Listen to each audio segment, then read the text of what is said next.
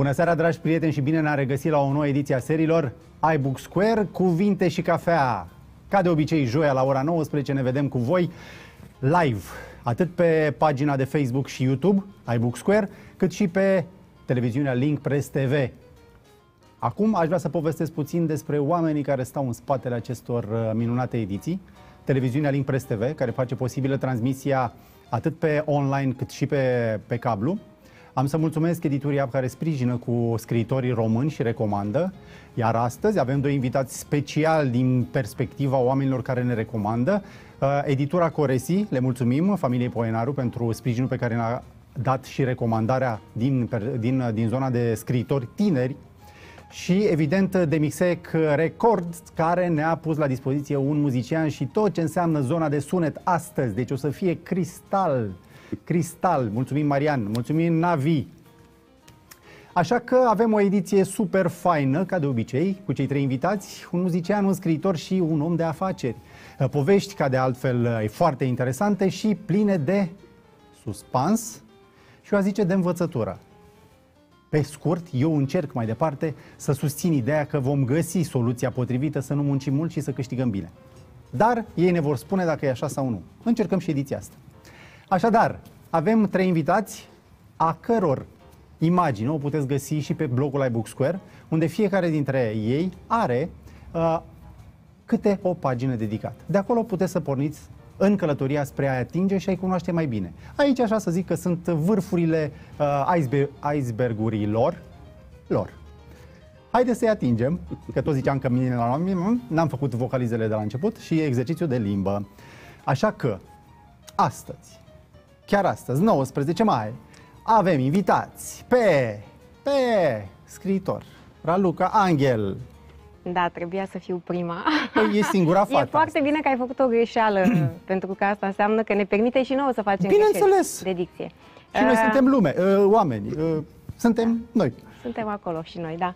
Numele meu este Angel Raluca, sau Raluca Angel ca să uh, mă citesc așa cu... cum scrie, da, pe carte. Uh, Um, și da, nu știu ce este de interes. Am scris într-adevăr două romane pe care le-am scris uh-huh. în ultimii doi ani în pandemie. Se pare că pandemia a fost uh, un lucru bun pentru mine, da. Uh, mi-a, mi-a uh, reînviat așa creativitatea uh-huh. și ele sunt rezultatul uh, creativității, nu o să spun muncii, o să spun creativității din pandemie, dar o să dezvoltăm pe parcurs probabil despre ceea ce înseamnă creativitate și mai puțin uh, muncă. Este un alt tip de muncă. Am înțeles. Haideți să vedem și, și pe, să-l cunoaștem și pe celălalt. Mihai Pajanaru, salutare, bine ai venit!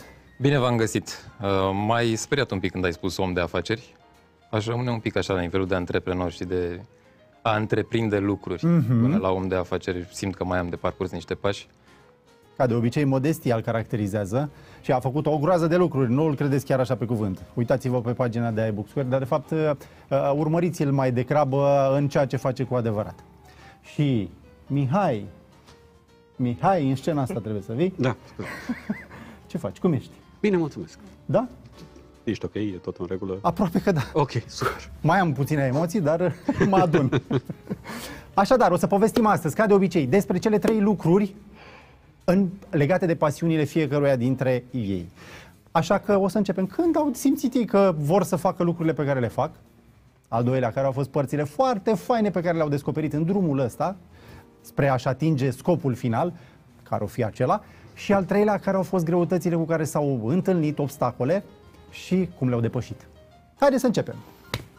Noi o să povestim de altfel și între noi, putem să ne punem întrebări, discutăm ca mai devreme, da, absolut. Sigur. Absolut, da. Încurajator. Raluca, haide povestește-ne puțin. Când ai început tu să-ți dai seama sau când ți-ai dat seama că vrei să scrii sau de unde a venit? Uh, știi, toată lumea așteaptă o poveste în spate și există o poveste, dar cu toții o tratăm ca pe o poveste abia după o perioadă de timp când conștientizăm uh-huh. povestea din spatele nostru. Eu întâi am făcut versificație, nu se poate numi poezie, de exemplu. Așa am început să scriu și am făcut-o pur și simplu pentru că îmi plăcea cum sună și îmi plăcea să mă joc cu rima. Și din joaca asta cu rima a ieșit o poezie pe care toată lumea a aplaudat-o, așa, erau toți ca focile, toți profesorii, o, ce poezie, se numea Mândricel pe atunci. Ok. Și, da, da, și pă, multe, multe strofe, nici nu mai aduc câte strofe, aminte câte strofe au fost acolo. Uh, dar, într-adevăr, a ieșit bine, lumea m-a, m-a lăudat și ce își dorește un copil? Își dorește aplauz Bineînțeles. și își dorește recunoaștere și își dorește astfel de lucruri care cumva m-au determinat să mai scriu, să mai vreau să scriu și să scriu cu substanță, neînțelegând ce înseamnă substanța pe vremea respectivă. În schimb, um, uh, ce a fost foarte interesant e că am înțeles că a scrie, asta ulterior, nu înseamnă versificație, nu înseamnă rimă, nu înseamnă ritm, nu înseamnă măsură. Ok, dar ce Înseamnă înseamnă? imagine. Ok. Înseamnă o imagine care ție îți trece prin, uh, prin fața ochilor și pe care tu o transpui. Ideal este să faci asta la nivel de subconștient, pentru că de acolo vine ideea, de acolo vine esența. În momentul în care faci conștient, este comercial și este versificație dacă e poezie, este ceva foarte comercial dacă e ceva scris, pentru că este la o cerere și este la o cerere conștientă. Cum sunt multe, nu vreau acum să lovesc în alți scriitori, dar din păcate sunt foarte multe uh, romane pe piață care sunt maculatură. Eu așa le numesc cu toată greutatea cuvântului, uh, pentru că suntem totuși la cuvinte și cafea. Uh, și din păcate, da, se califică drept maculatură pentru că um, nu vin cu măcar o idee originală într-un anumit număr de pagini. Una, dacă o idee este originală într-un număr de pagini, fie ele m, voluminos, un roman sau, sau o carte de autodezvoltare sau ce-o fi ea, um, dar dacă ideea asta nu e acolo, înseamnă că ai venit cu o plagiatură a altora, doar transpusă în cuvinte diferite. Corect. Dar cum, uh, cum ți-ai dat seama că totuși uh, te duci în Um, zona asta? De ce ai scris? Acum Ce doi te-a ani. împins? Acum 2 ani jumătate, când am intrat în pandemie, eu am renunțat la scris la 20 de ani, am trecut printr-un moment foarte, foarte Dar de când ai dificil. scris? De când ai început să scrii? Ah, în clasa a șasea, din clasa a șasea am început să câștig premii naționale, în clasa a cincea. Premii naționale pentru? O poezie, proză eseistică și la Olimpiada Națională am ajuns, asta la liceu. da, Simți că o să fie o seară grea. Uh, nu, nu, nu cred. Și uh, la două... Te rog, Pentru noi o să fie o seară Pentru noi de ce să asta. fie? Abia aștept să aflu despre antreprenoriatul tot, poate mă înveți să fac bani. Uh, pentru că din scris, crede-mă, de asta am un job, pentru că nu sunt fată de boier. Uh, da, și uh, la... Altfel ai mai fi, ai, uh, ai mai fi devenit scriitoare dacă erai fată de boier? Nu știu, cred că dacă ai chemare, da. Tă- Aici ajungem. La 20 de ani am renunțat la scris. Am trecut printr-un moment în care am vrut să mă închid într-o corporație, să fiu mediocră și să fiu în bula mea de, de în conul meu de umbră și să nu mă mai vadă Și nimeni. nu ți-a ieșit. Mi-a ieșit până, până în momentul în care m-a luat din nou flama și am scris primul roman, Adevăr sau Provocare. De fapt, a fost un blog pe care am p- postat poezie și o să scot și un roman de poezie, sper eu, anul ăsta. Um, și ușor, ușor, din nou am trecut printr-un moment greu, pentru că ce să faci? Artiștii nu sunt de obicei fericiți, nu de acolo se Adică nasc. na- ajungem și acolo. Da? Uh, nu, nu o să ajungem acolo. Că Nu, nu, nu, o să ajungem și la acea parte a treia din tot A, de- discursul în despre care artiști. povestim despre ce înseamnă greutățile pe care le are un scriitor în cazul tău și cum le depășește. Eu zic să păstrăm mult timp pentru acolo, pentru că acolo cred că e un subiect de cu greutate pentru toți, pentru noi toți. Așa vă lăudați tot. Deci, încă o dată spun, dragi prieteni, avem o promisiune că o să fie o seară grea pe tema asta, o să învățăm multe. Unde e Toți se camera? laudă. Să zâmbesc și eu frumos. Toți se Care-i laudă la camera? fel, în același mod. Și tu ai avut greutăți? Eu nu am zis absolut nimic. Nu. Păi asta zic, că măcar să te bag în seamă. Ah, Eu zic, eu zic că să, să mai las, dacă e necesar, eu las loc, pentru că dacă discutăm, o să încep să povestesc foarte mult. O să-ți mai dau o jumătate de Și minut. Sunt uh, o jumătate Da, de minut. hai, ia să Bine, vedem atunci ce o ne să poți zic, spune în o să jumătate de zic minut. scurt. Uh, am reînceput să scriu în pandemie. Mhm. Au fost patru luni jumătate în care am fost ca într-o stare de transă. Asta înseamnă a scrie. Uh, în care m-am consumat foarte tare, în care, îți dau un exemplu, am ucis mama personajului, l-am, l-am trimis pe personaj la Praga, m-am dus în Praga și am scris toată partea lui acolo și multe alte... Te-ai uh, dus în te- în fizic? Praga, da, dar nu, nu erau lucruri pe care le făceam conștient, erau lucruri pe care le făceam spontan. Eram în metrou, un alt uh, moment, sper să mă încadrez în jumătatea asta, dar vă Sunt povestesc aici. momentul, momentul. Eram într-un spre serviciu, lucram în Pipera, nu o să spun uh, compania pentru că nu știu dacă am voie. Încă nu ne-a sponsorizat, că altfel poți să o spui liniștit. Dar poate ne pui o pilă? HP. Ah. Enterprise. Așa. Da, Primești lucram un toner. acolo. Lucram acolo, uh, da, și eram în metrou, pentru că mă duceam cu metrou pe atunci la serviciu, nu ai cum cu mașina în Fiorător, de unde locuiesc eu, și erau doi uh, bătrâni în fața mea. Uh, ea cred că avea o problemă, un Alzheimer, ceva după privire, după îi tremurau mâinile după comportament, nu știu, nu pun un diagnostic. Cert este că el o ținea de mână. Aș vrea să vă dau un exemplu, dar uh, Mihai o să spui după asta că cine știe ce. O ținea de mână foarte, foarte strâns. Poți încerca, vedem uh, efectele. Nu, Le cerem și celor care ne urmăresc să ne spună cam ce, cum se interpretează. Exact, da, exact. da, da, asta e vrem important. review-uri, Da, vrem da. review-uri. Fiți cu ochii Um, pe noi. Da, și... Așa. și Așa. Nu, nu erau așa. Dar se țineau de mână și ea avea o floare în mână. El, uh, nu-i nevoie să te depărtezi mai tare, e ok. Uh, el uh, avea mâna pe a ei și o ținea foarte strâns. Și ea era cu privirea pierdută cu trandafirul în mână la ora șase jumătate dimineața. Și m-a atins atât de tare lucrul ăsta încât personajele alea sunt în adevăr sau o provocare, însă sunt plasate pe o bancă din Cismigiu. Uh, și am, mi-a scos telefonul și atunci am început să scriu momentul respectiv. Așa funcționam.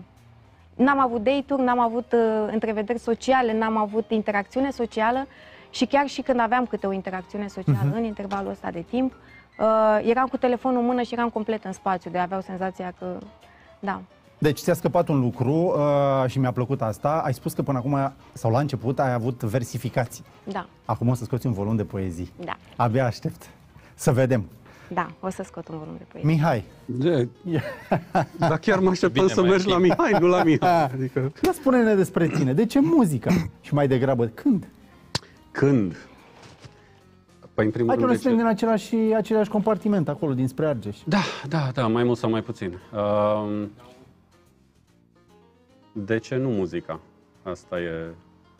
Uite că la mine au fost șuruburile, n-a fost muzica, că dacă m-aș fi apucat de muzică ar fi fost complicat să ajung undeva. Măi, tehnic, nici la mine nu e uh, în momentul ăsta jobul principal, dar a existat întotdeauna, adică, mă rog, dacă vrei să o luăm așa ab initio, ab ovo, mm-hmm. mama este profesoară de muzică, mătușa mea, sora ei, este și ea profesoară de muzică, uh, canto, flaut, respectiv. Deci ai avut în familie, ai Da, avut da, de- da, am, am crescut cu chestia asta. Uh, chestia absolut haioasă e că și am un frate Mhm. care e absolut afon. Adică nu e, cumva nu se transmite neapărat. N-am înțeles unde ai pus accentul, că ai un frate sau că e afon? Uh, uh, both. Ah, ok. Da. Adică nu e, nu e neapărat vorba despre creștere, nu e neapărat vorba despre talent, e vorba de faptul că mie chiar mi-a plăcut. Și el e muzica. inginer? Uh, nu, nu, este economist. Uh, Noi nimic, Ben Bobere, noi exact. doi, inginerul da. și economistul, clar, perfect. Clar. Voce n-avem amândoi. Și uh, efectiv nu țin minte să fi avut măcar o perioadă, măcar o zi, măcar o oră în care să nu, nu fi avut muzică. În cap, în mine, în mâini, în peste tot. Adică eu nu pot să concep viața fără muzică, efectiv. Indiferent cum ar fi viața respectivă, nu, fără muzică e, e seacă, e blandă, e eternă, e cum vrei tu, pustiu. Fără muzică e pustiu, într-adevăr. Mulțumesc, Raluca. Poeta. Poeta, da. Nu, asta e Delia. Dar tot din E poezie cântăreață. vine. E cântăreața, e de-a lui. Și cam așa, cam așa a început. Adică prima dată când am cântat cu public, m, cred că eram undeva, tocmai ieșisem din grădiniță, n-ajunsesem încă la școală. Uh, În grădiniță? da, da, da, da, da. da. Wow. Am cântat o chestie pe care cred că o știți de la clas, aș vrea să zic, a spus aia cu Adu- Adu Doina. Trec cu idealul la... bă, Da. Uh, o știi? Da. Bun, aia, aia a fost prima. Um, iar prima pe o scenă mai serioasă a fost, uh, mai ține cineva minte, Edera. Era o Da, telenă- da, da, Aia. da. Uh, recording Mă rog, în cei mai cuore. cu- cu Exact, barbă da, da, aia da, cei albă. mai cu barbă sunt, uh, da. Deși e, era destul de cunoscut. Sau mai grizonant. Eh, ai, nu, nu mergem acolo. Așa. Uh, și cam asta a fost, adică am avut contact de-a lungul anilor, m, cum se zice, on and off, cu, cu scena. Um, nu are nicio treabă cu jobul oficial, nu are nicio treabă cu, mă rog, deși am făcut liceu de muzică m, la, la specializarea chitară și pian, dar până la urmă ce am ieșit de acolo a fost pe limbi străine, pe engleză și pe germană. Da, nu, e un pic ciudat ca și mine.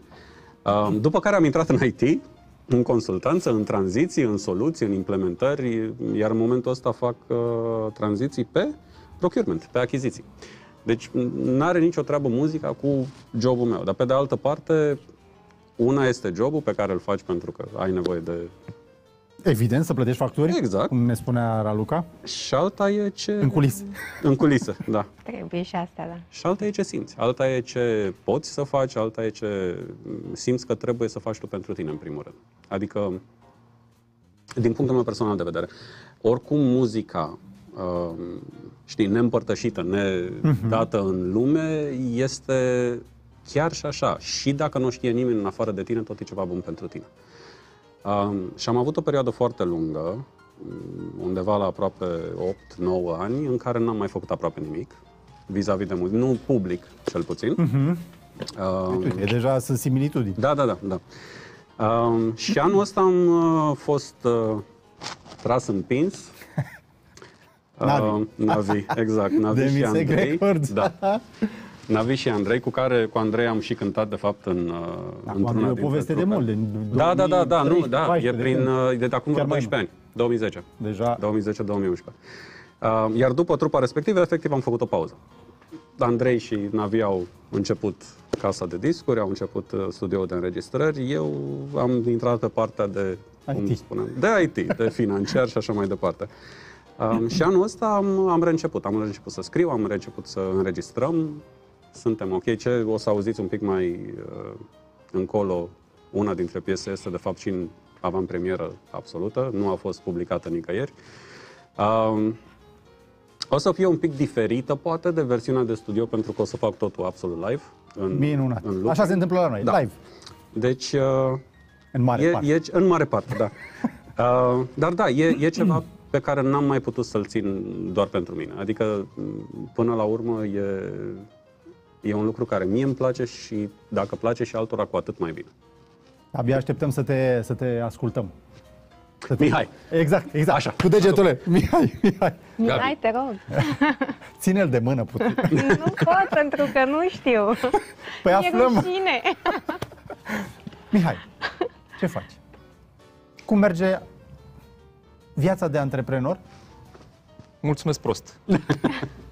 Răspunsul corect. Cum poate să meargă? Cum ți-ai dat seama că tu vrei să faci afaceri? Pentru că ai făcut o groază de lucruri și întotdeauna ți-a plăcut să te arunci să faci lucruri altfel decât ceilalți, să încerci diverse... Chiar mă gândeam, Gabi, că este o diferență fantastică între anii 90, sfârșitul anilor 90 și perioada actuală în ceea ce privește un tânăr absolvent de, de facultate sau începutul anului, anilor 2000 în cazul meu ca, ca vârstă, când uh, proaspăt absolvent uh, te duceai la un interviu și spunea uh, trei ani experiență. Ai, ai pățit? Am pățit. o dată de mai multe ori. Uh, și atunci, încă din perioada asta liceului și a facultății am cochetat cu ideea de a, de a intra în zona de IT.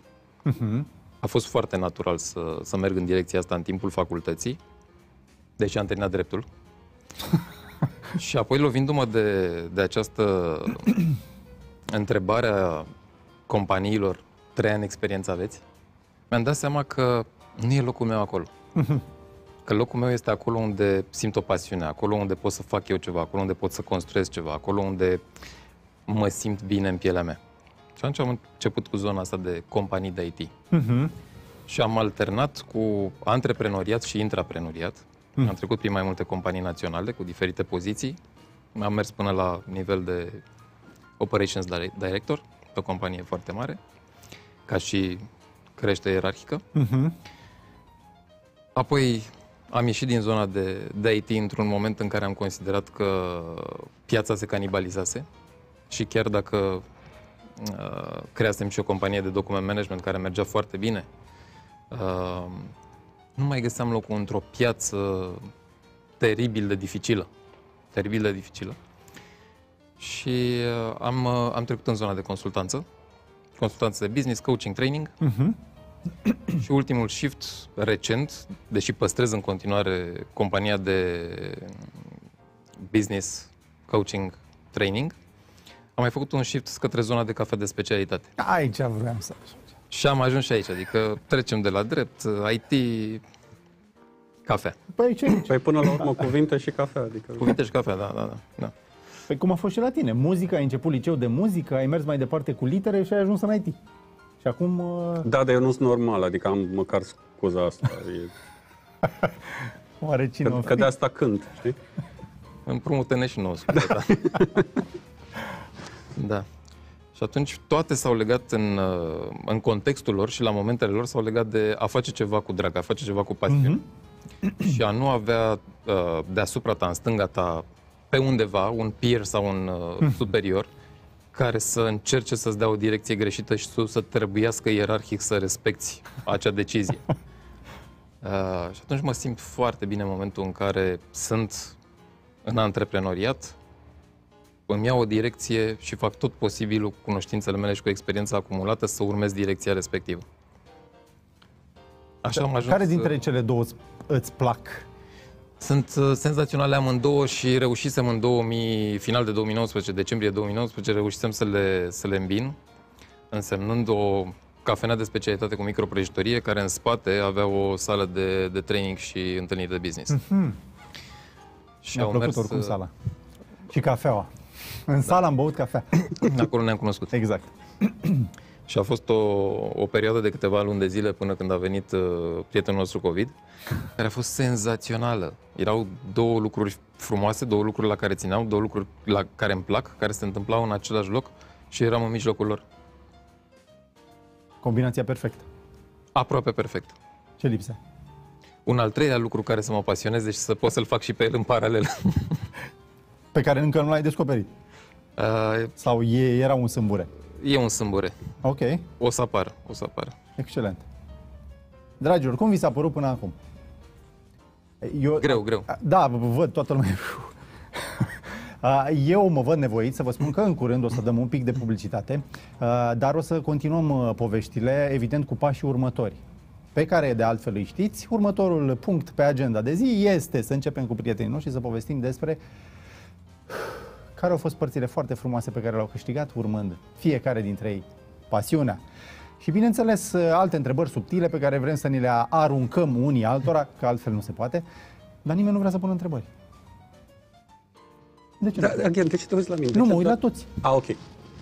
Nu mă mai simt ex. Am De ce, avut o n-ai pus, înțelegere. de ce n-ai pus întrebarea înainte? Trebuia să fie spontan, după ce, vă, după ce urma pauza. Exact, exact, Să exact. ce vă, Ah! care, care, nu, că le de un subiect, nu e o întrebare. Ce faci? Întrebările din subiect uh, or să fie subtile și Tot puse așa așa. nu prea poți să câștigi cu el, adică Relaxarea de acum e pentru că nu se mai filmează, să înțeleg. Nu, acum nu se mai filmează, e totul nu se mai filmează?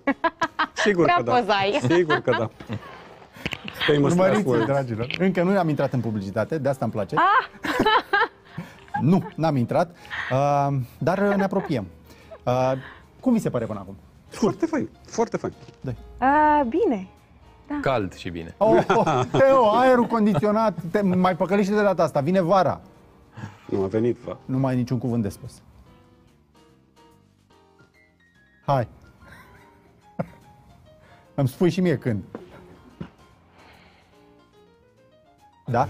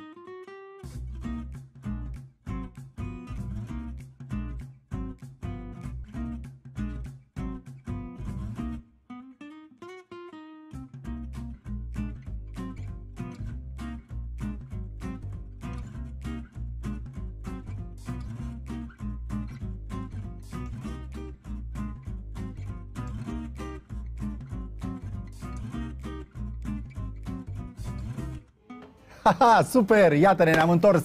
Și haideți să vedem ce spun prietenii noștri cu următoarele, următoarele întrebări pe care ei nu le știu. Ei cred că întrebările sunt simple, dar o să fie la fel de surprinză, surprinși și surprinzători pentru noi ceea ce o să ne povestească. Hai, Raluc! Cu ce să încep? Cu, ce- în- cu începutul uh, părților frumoase pe care le-ai obținut scriind. Um, în perioada adolescentină a fost recunoașterea, clar. Adică Cu toții aplauzele, cum tânjim spuneai. după aplauze și cred că am făcut lucrul ăsta mai degrabă pentru așa ceva. Uh, și pentru că eram lăudată și mi se spunea că e bine și e foarte important unui copil să-i spui că e bine pentru că devine mai bun. El nu e conștient, dar e programarea Mhm, aia mentală care te face din bun mai bun. Că îți dorești uh, recunoașterea, că sunt alte circunstanțe, n-are niciun fel de Și importanță. asta a stat la baza Cert faptului că este- tu ai ajuns olimpică? Da. Da, cu siguranță. Am avut o capacitate de care nu eram conștientă și nu că mă laud, nu e vorba de lipsă de modestie acum. Uh, nici acum nu sunt conștientă de capacitatea mea. Mi-o descoper și mi-o redescoper mai degrabă. Dar eu, privind în urmă, sunt surprinsă de ce am reușit să fac. Uh, chiar în momente cheie, în momente scurte, eram capabilă de lucruri, pentru că mi se spunea că pot. Și ăsta e un cuvânt magic, e un cuvânt pot. E, e un cuvânt care pare pur și simplu un cuvânt, dar nu este. E, uh, cuvintele, cuvintelor le dăm noi la greutatea și valoarea și prețul. Ele sunt pur și simplu, acoperă o realitate pe care noi uh, ne chinuim să o percepem, realitatea fiind o implozie și o explozie nebună de energie în jurul nostru și noi atunci am ales cuvinte ca să putem să înțelegem și să filtrăm realitatea asta prin cămăruțe, prin ceea ce înțelegem noi. Dar dacă noi le dăm putere cuvintelor, ele accesează un alt tip de realitate din, din creierul nostru care e capabil de enorm. Asta mi s-a întâmplat mie atunci, asta m-a speriat foarte tare când uh, am început să dezamăgesc oameni la 20 de ani. Nu să-i dezamăgesc prin prisma faptului că aș fi luat eu decizii greșite, ci deciziile pe care le luam eu mi-aparțineau și erau diferite de deciziile pe care le voiau ei pentru mine. Și, uh, bineînțeles, au existat consecințe. Eu mie mi-a dat cu eroare la sistem și eram ca un ap- pește de apă caldă în, pus în apă sărată. Și, da, mi-a stricat un pic direcția pe o perioadă lungă de timp. Am renunțat complet la scris și am vrut să fiu lăsată în pace, să respir. Uh, dar viața nu a vrut la fel. Am fost și stewardesă, am văzut și lumea, vorbind despre lucruri care ni se întâmplă, nu a fost ceva planificat, dovadă că am 1,60 uh, cu volum la păr. Uh, dar așa a vrut Dumnezeu. Nu sau fără tocuri? Uh, Bineînțeles că dacă dau jos aceste șantiere, uh, sunt de cu tot o altă dimensiune. Uh, Da, nu sunt foarte multe, să zicem. Și uh, da, Dumnezeu a vrut să ajung acolo, uh, să am niște experiențe care m-au ajutat și în, uh, în ceea ce scriu acum. Mai am o carte în așteptare și așteaptă finalul. Uh, Și satisfacția pe care o am acum, pentru că asta mi se pare mai importantă. Um, faptul că am reușit să scriu un roman, mi se pare că trebuie să ai o anumită maturitate ca scriitor să scrii un roman. Să scrii o poezie, să scrii un eseu este un moment care te consumă, te arde, te transformă, dacă îl trăiești cu adevărat, atunci, în minutul ăla, în jumătatea aia de oră, în oră, în ziua aia. Dar să scrii un roman e ceva ce te consumă uh, înfiorător de mult. Eu, după ce am scris romanul ăsta, care are 540 de pagini, mi-au trebuit vreo două luni în care lumea discuta cu mine și eu mă uitam așa într-un punct fix să-mi revin. Dar mă simțeam bine. În cât timp l-ai scris? Patru luni jumătate, primul volum. Dar patru luni jumătate în care, nu că nu am trăit, am trăit prea intens. Eu nu am trăit extern, exterior mie, nu am socializat, nu am... uh, De asta vreau să zic, nu știu dacă eu fac artă, nu vreau să discut despre mine ca făcând artă, deși scriu. Dar oamenii care fac artă, uh, autentică, nu comercială, nu care sculptează pentru că se cere, la cerere, nu care își vând arta. Uh, oamenii care trăiesc arta, care o consumă în ei, care o ard acolo și rămân cenușă, um, ăia sunt oamenii um, care, într-adevăr, nu știu dacă fac istorie în viața de zi cu zi sau post-mortem. De obicei, din păcate, se întâmplă post-mortem, pentru că arta atunci te hrănește. Aia e cam târziu. Dar uh, ăia sunt oamenii care, într-adevăr, trăiesc arta pe, care, pe care o fac și aia este, din punctul meu de vedere, aia este arta autentică. Dovadă că dacă ne uităm în istorie, în sculptură, în pictură, în... Uh, Inginerie.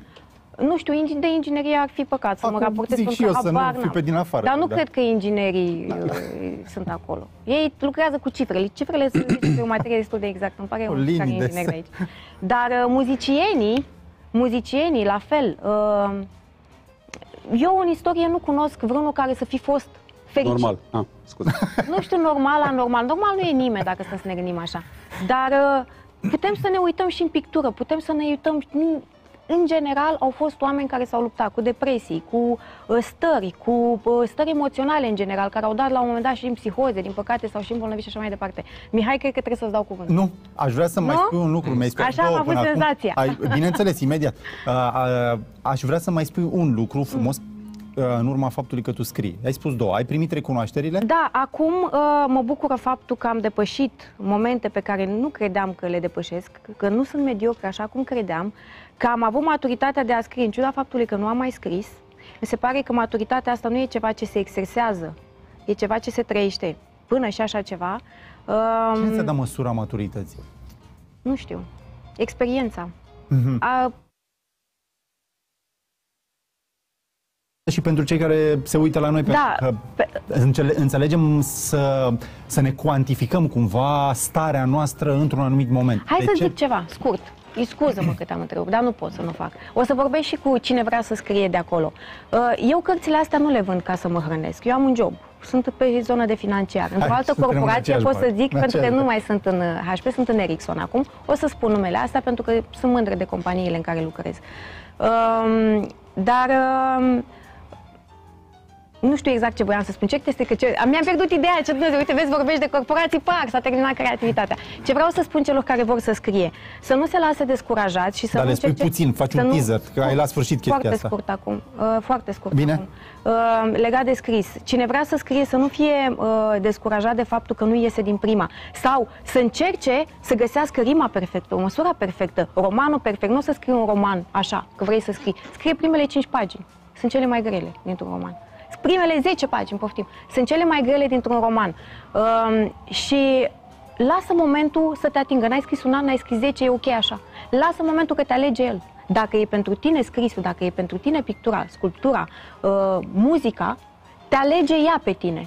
E ceva ce trăiești și te consumă atât de tare încât uh, refulezi în într-un roman, într-o melodie grozavă. Și ingineria E ceva- la fel te alege ea pe tine? Doamne ajută, nu știu, te Eu scrie fi inginer după mare sufletul lucru. omului.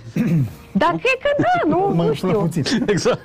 A, Vă provoc să vă puneți câte o întrebare la un moment dat. Ok. Mihai, Mihai De ce? așa mi-a plăcut mie. Un răspuns Și corect. pentru că, uite, m-a, m-a sprijinit, uh, uh, mi- mi-a dat așa un imbol. A, a trimis deja spre tine gestul și a zis să-l urmez. Fair enough. Spune și mie, care sunt părțile frumoase că tu urmezi cele două zone antreprenoriale? Training, co- business coach sau coach business, business uh, și partea de antreprenoriat cu zona de cafea. Cred că e un răsfăț. Ha, ce frumos sună asta, îmi place. Serios, serios. Știi, mă, mă uit câteodată și în uh, piața de, de cafea de, de specialitate și deși a fost dezastruos, perioada Mhm. COVID a fost dezastruoasă pentru noi, pentru că am început chiar înainte de COVID cu trei luni de zile, Oh, uh, tot am rămas cu o satisfacție. Am credința că în fiecare dimineață, între toți competitorii mei din piață, eu beau cea mai bună cafea. ne-ai convins, Și- mergem în vizită la el. Și este o credință a mea, pe care de-abia aștept să vină un om din piață care prăjește cafea și să spună hai la mine în dimineața asta, vreau să bei o cafea mai bună decât o faci tu. La ce oră deschizi tu cafeneaua? Uh, mai sunt mai leneș așa pe la 9. Avem timp să ajungem. Da. Uh, Capi, e uh, foarte, foarte interesant că revin la acea diferență contextuală între anii 2000 și prezent. Post-pandemie. Și prezent chiar înainte de, de, de pandemie. Ok. Uh, avem acces la foarte multe lucruri. Acum. Acum ai acces la foarte multe lucruri. Pe vremea aia, dacă ți se strica încuietoarea de la mașină, te plimbai prin tot București, poate găsești ceva. nu mai vorbim de pivoți și alte lucruri. Uh, și atunci, uh, partea asta antreprenorială a avut așa, ca, ca obiective. Să nu ajung să conduc o decapotabilă la 50 de ani. Aha, Și atunci îmi place ideea. Targetul a fost 25, când încă mai aveam păr, acum începe să mă părăsească. Uh, S-a întâmplat la 25, 23 a fost targetul, deși erau piața de motociclete era foarte redusă în România. Mm-hmm. A fost motocicletă și am avut motocicletă și atunci spiritul ăsta antreprenorial la mine a fost cumva corelat cu niște obiective personale. Nu cele mai sănătoase. Pentru că dacă mi-aș fi luat în 2008 un teren cu banii pe care i-am plătit pe decapotabilă, acum aș fi putut să sponsorizez emisiunea asta încă vreo 50 de ediții de acum încolo. Dar sunt convins că ai o idee bună și sigur vom ajunge și acolo. Cu siguranță o să, o să ajungem și acolo. Da. Și atunci, Încă două lucruri bune. Um, un alt lucru bun, în afară de partea asta de, de a-ți hrăni propriile pasiuni, uh-huh. uh, este faptul că în permanență a trebuit să-mi ridic propria ștachetă. Până la, la un moment dat am avut și, și o firmă în uh, advertising, în BTL, și ștacheta am ridicat-o până la acolo în care, uh, la momentul în care mă, îmi puteam permite să mă duc în piciuri cu prețul cel mai mare și să câștig pe calitate. Wow! și astea sunt niște lucruri care au, uh, pentru mine au însemnat uh, o recunoaștere a efortului depus pentru a fi mai bun, mai bun, din ce în ce mai bun pe ceea ce faci. Uh-huh. Și o concentrare, un focus pe a stăpâni foarte bine lucrurile. Știi că se vorbește în actorie despre frica de, de penibil și um, erau niște debate-uri cu privire la acel exercițiu în care trebuie să te dezbraci și să intri pe scenă dezbrăcat uh-huh. pentru a-ți învinge această frică. Mai consider că atunci când nu ești pregătit pe un subiect, ăla este singurul moment în care poți să ai frică de penibil. În rest, dacă te-ai pregătit și ești stăpân pe ceea ce faci și știi ce livrezi, nu ai de ce să-ți fie teamă. Și asta am încercat să fac și în businessul de IT, și în cel de publicitate, și în coaching, și în training, și în tot ce am făcut până acum. Asta încerc să fac și în, uh, și în cafea. Uh, singurul care mă bate pe cafea este maica mea la 70 de ani. în sensul în care prăjesc cafea, extrag cafea în diferite moduri, și la un moment dat uh, vine maica mea și îmi spune, știai de chestia aia din Yemen, din 1540, uh, care s-a întâmplat așa? Și, uh, ok. Deci ai ieșit tu la rândul tău un specialist. Am la rândul meu un, un etalon în ceea ce privește informațiile pe, pe sfera asta de cafea, pentru că trebuie să recunosc că nu este suficient de mult timp încât să te duci către tot ceea ce înseamnă cafea și atunci mă duc către ceea ce înseamnă o extracție perfectă a gustului. Al treilea? Al treilea este legat, aș spune, de oamenii pe care îi întâlnești în contextele potrivite. Uh-huh. Și modul în care renunți la oameni pe care îi întâlnești în momente pe care le consideri ca fiind potrivite și îți dai seama că de fapt sunt uh, niște momente peste care trebuie cumva să iei decizia să treci. Cam asta ar fi. Super scurt, concis, ca un om de afaceri. Aveți întrebări? Ei între ei, bineînțeles. Debate-ul continuă. Dragul Mihai, înapoi la mine. Sigur. Haideți să vedem, care au fost părțile astea super tari pe care, de care te-ai bucurat cântând? Um... Sau urmând muzica, poate nu neapărat cântând, poate că ai compus. Da. Mai au fost multe, um, că tot vorbim toți de pandemie, știi, unii mai bine, alții mai puțin bine. Um, Eu în pandemie, primul lucru pe care l-am făcut când s-a dat lockdown, știi, toată lumea stă în casă și ideea mea a fost o să stau în casă, o să nebunesc. Pardon, o să stau în casă, o să nebunesc mai rău. um, și primul lucru pe care l-am făcut um, a fost să-mi iau un pian. Am, am reușit să... Mă rog, voiam chestia asta de foarte mult timp, dar n-am, n-am apucat până când s-a întâmplat pandemia și am zis, ăsta e momentul. Uh-huh. Um, și ăla a fost, de fapt, și momentul în care am reînceput să scriu. Am reînceput să mă joc, am reînceput să, să cânt, să-mi pun atât cât se poate ordine în idei. Uh-huh. Um, și ăsta este totuși, uite, un lucru bun pentru mine. Știi, faptul că a avut loc chestia asta și că am, a fost nevoie să mă izolez ca să ajung să-mi iau pianul ăla la care mă tot gândeam de niște ani buni de zile, uh, deși nu e instrumentul meu principal, a fost un lucru bun. A fost un, un, un șut în fund, știi? Care a fost și un pas în față. Uh-huh. Um, nu știu neapărat, uite cum spunea Raluca despre recunoaștere, dacă la mine personal e neapărat vorba de recunoaștere, cât de... Știi, când ești, ești pe scenă și cânti, sau când cineva îți aude o melodie. Nu știu, dar te ascult. Ok. Ce mi se întâmplă mie în cazul ăsta? Așa. Uh, e faptul că pot să văd în timp real reacția. Pot să văd emoția de pe fața mm, oamenilor dacă reușesc să trezesc emoția asta, nu este absolut superb. Și acolo, cumva, nu cred că e vorba neapărat de recunoaștere, cât de ideea de, uite, am reușit să transmit exact ce am vrut eu să spun, sau măcar o parte din ce am vrut eu să spun cuiva și văd asta în momentul ăla. Adică în momentul în care încep să le sclipească ochii și să vezi realizarea a indiferent că e vorba de versuri, uh-huh. de mesajul versurilor, de uh, linia melodică, nu știu, poate le place linia de chitară. Tot o recunoaștere, tot, tot, tot acolo ajunge Mihai, îmi dai voie da. să te întrerup numai o jumătate, da. intervin peste minutul tău, dar aia e. Uh, eu nu-l număr. dialog, nu? B- absolut, da, asta da. aștept în sfârșit. Uh, știi cum e? Nimeni nu face pauză. nimic uh, fără a avea dorința de recunoaștere. Absolut nimeni. Nu o să vrei să te duci să ții un pahar de apă recunoașterea momentului respectiv că îți potolești setea.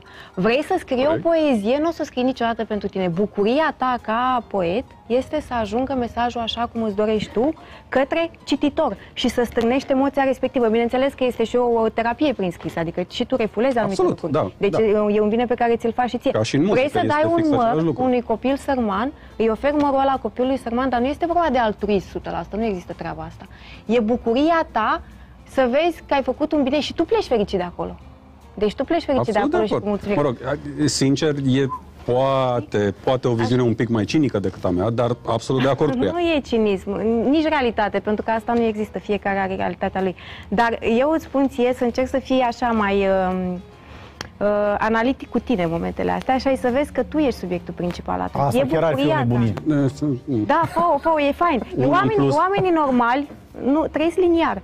Fii un om cu povești da. în spate. Corect. Și trăiește-ți poveștile. Și da, dar pe de altă parte, uite, în momentul ăsta, și refer, mă stric la mine, că asta e toată chestia, în momentul ăsta nu simt eu nevoia de asta, which is fine. La un punct o să o simt. Nici eu n-am simțit-o 16 ani. Exact, asta zic. E vorba de moment, e vorba de punctul ăla în timp.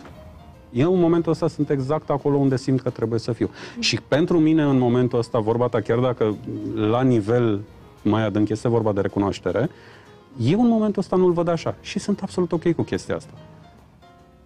Până la urmă, și ăsta e un lucru bun, știi, faptul că reușesc să văd emoția pe care o provoc prin muzică, prin versuri, prin, până la urmă și rimă, că uneori e al dracului de greu să găsești exact rima potrivită care să și transmită sensul cuvântului pe care vrei să-l folosești. Discut în... cu un poet de da, da, da. Nu, nu sunt, sunt... Astea sunt romane, acestea sunt romane. De, de, ok, Încă nu. e fost da. poet, putem să... Ador poezia, cei drept. Um, e, până la urmă, asta, asta contează pentru Și asta e un lucru bun. Știi, faptul că pot să văd chestia asta și mai ales în timp real, este wow. Um, Ăsta era al doilea lucru bun? Al doilea, ah, da. ok. Aștept Bine că numeri tu, că eu deja... Um... Atâta pot să fac și eu ca inginer, măcar să țin numărătoare aici. Tot vorbeam de numere, ok. Exact. Um, al treilea lucru bun, mă rog, nu cred, nu cred că sunt doar trei, n-au cum să fie doar. Da, abia aștept să ne spui patru. Da, o să, o să Pentru că Raluca ți-a luat din minut, o să tai de la ea și pun la tine. Da, da, așa. Compe- ok, compensăm, am înțeles. Uh, al treilea lucru bun este faptul că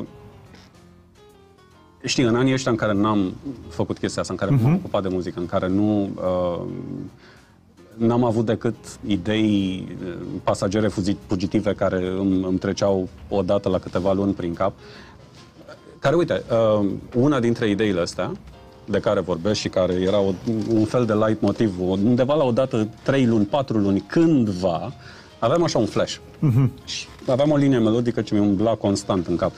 Uh, pe, pe linia asta melodică, pe ideea asta care avea trei note la momentul respectiv, s-a bazat toată piesa pe care o să o ascultăm mai încolo. Free. De, e, de acolo a plecat. Dar ăsta este un alt lucru bun, este faptul că într-un final nu mă mai exprim doar mie și e ca un tăvălug, cumva. Din ce scriu, din ce aș mai scrie. Și cu atât mai mult, uite... Bravo am... pentru Demisec. Da, exact, asta, asta voiam să zic. Cu, cu atât mai mult, că tot vorbeam mai devreme și de Andrei și de Navi. Um, câte avem până acum? Vă rog. Cinci? Navi, Navi în studio. Da, Navi este în studio pentru cine nu știe și... Uh, da, avem deja între, între noi cumva vreo cinci melodii scrise care au, s-au întâmplat Unele dintre ele mai puțin de 15 minute. Adică toată structura, toate versurile au fost așa, flash. Deci aveți Asta zic, din material. ce scriem, din ce am mai scrie. E, e cumva o chestie care a, are, a venit așa după tot împinsul, um, care parcă acum nu se mai oprește. Și e un lucru bun pentru mine. E, e un mod în care pot să-mi canalizez absolut tot, și energie, și frustrări câteodată, și um, nervi, dar și liniște pe de altă parte, și fericire, și pot să fac treaba asta fără să mă împiedice nimeni. Nu că n-aș fi putut să o fac și până acum. Dar acum am drive-ul. Am, am ideea asta de, ok, am deja o sosit melodie momentul. înregistrată, da, și din ce în ce, parcă pot să fac din ce în ce mai bine. Și asta e până la urmă și țelul. Știi, să, să, să simțim că ne îmbunătățim cu, cu tot ce facem. Câteodată. Chiar că. Exact. Avem o întrebare fulger? Avem o Așa, într-o, într-o jumătate juma, juma, juma de minut. N-aveți întrebări, văd. Păi când am avut mai certat și mi-ai zis că mi-e jumătatea de minut, nu Dar mai te-am am păcălit, întrebări. trebuie să crezi orice se spune. I have feelings, you know? Deci nu vă puneți cu o scriitoare, vă... Vă bagă în roman. deveniți, deveniți personaj. Uh, cât, uh, care, o să trecem la următorul moment, dar după publicitate. Uh, Până atunci, uh, cred că una din întrebările pe care eu le văd tot timpul la mine, mi le pun și cum spuneam prietenilor noștri, vreau să descoper soluția magică, cum poți să câștigi fără să muncești. Uh, Cum e la voi? Cât de mult munciți pentru a vă atinge sau a vă hrăni uh, pasiunea? Mihai, Um, cât îți trebuie să ai o chitară sau un pian să cânti și gata, ai făcut melodie? Băi, nu știu, n-am, nu cred că am mers vreodată pe principiul ăsta de a, de a calcula, știi, cât e ora mea lucrată, cât înseamnă asta și câte ore ar trebui eu să lucrez ca să... Um, pe de altă parte, eu am și un program un pic mai ciudat, nu lucrez aproape deloc cu România, lucrez în general cu țări afară, din, da. din afară. Chestia asta duce la, într-adevăr, unele uh, lucruri un pic mai ciudate, dar lucrez pe alte fusuri orare, unele chiar mult diferite. Uh, și din punctul ăsta de vedere am și un program mai flexibil. Ceea ce înseamnă uneori că am, știi, uh, suișuri și coborâșuri. Uneori lucrez foarte mult timp într-o zi, Deci muncești sau nu muncești? asta zic, alteori nu prea muncesc foarte mult timp într-o zi, că depinde de nu, cât de dacă repede- muncești pentru muzică, la asta mă refer. Pentru muzică nu, pentru că Când toată ziua. Da, indiferent că știi, vocile din capul meu. Stai că vorbește. Ah, așteptăm, Uh, nu? da, nu. Mă întreb mai Uh, departe dacă- Nu, nu, n-am, n-am cum să nu cânt. Indiferent 20 ce de fac eu secunde. cânt. Asta se întâmplă. Indiferent ce fac eu cânt, indiferent ce aș munci, ce aș lucra, asta Deci, e pentru mine constant. te-am- Da, da, da, te-am e, tras e, pe e linia, ca un, mă. știi, uh, când te întreabă cineva ce post de radio prins, la mine e unul constant acolo, care... Mihai, Foarte dificil de răspuns la întrebarea asta. sunt convins, de asta am și pus-o. Um, 5 secunde. ca antreprenor lucrezi exact cât trebuie să lucrezi pentru ca noaptea să nu te trezești brusc și să zici unde e o hârtie și un creion. Ah, foarte fain. Da, dar asta nu înseamnă cât vrei, nu așa? Niciodată nu este cât vrei, este Crezi că cât ești trebuie. penalizaș. Raluca. 5 secunde mai. Întreb Uh, publicitatea. nu pot cuantifica așa ceva. Publicitate. Mai avem, dragi prieteni, 10 secunde, evident. Vă așteptăm la imediat după pauză. O să povestim despre a treia parte. Iar în ultima parte o să fie și mai suculent. Asta mă sperie. Cât avem pauză, Teo? Șase. Mi-aduci mie telefonul să facem TikTok-urile, să vedem cum iese? Ce TikTok? Da. Ce TikTok? Nu vreau TikTok. De ce nu vrei? Nu, nu, Păi nu. faci cu mine? Ah, nu. Nu. Nu? Nu? Ce nu? Da, Nu nu, dorești. nu, nu există nu, nu Ba există da, da. ba Poate. da, ba da. Bine, dacă Vreau nu o vrei. țigară. Spune. Bateria? Da. Nu, nu, scoate, nu Uite scoate. tu. Dacă mă pricep, dar încercăm. Cum stăm? Gata, e Eu dacă vorbesc mai puțin, vezi? Da, tu. Tu cânti două piese, nu? Cât durează așa aproximativ? Uh, 4, 4. 4 cu 4. patru? Da. Opt minute. Super. Suntem bine? Spui tu. Spune, Raluca. Trebuie să stăm aici sau puteți? Da, oriunde, nu, nu. Nu Sau trebuie. puteți să ne deplasăm un pic, că nu mai pot. Da. Zi. Îmi- Mi-a schimbat bateriile și... Nu dorești. Deci, Uh, deci vrei să facem TikTok? Să povestești de Treabă că cafea? ești în studio. Un minut. Tati, unde e tati? Facem. Fac. Uh, dăm căști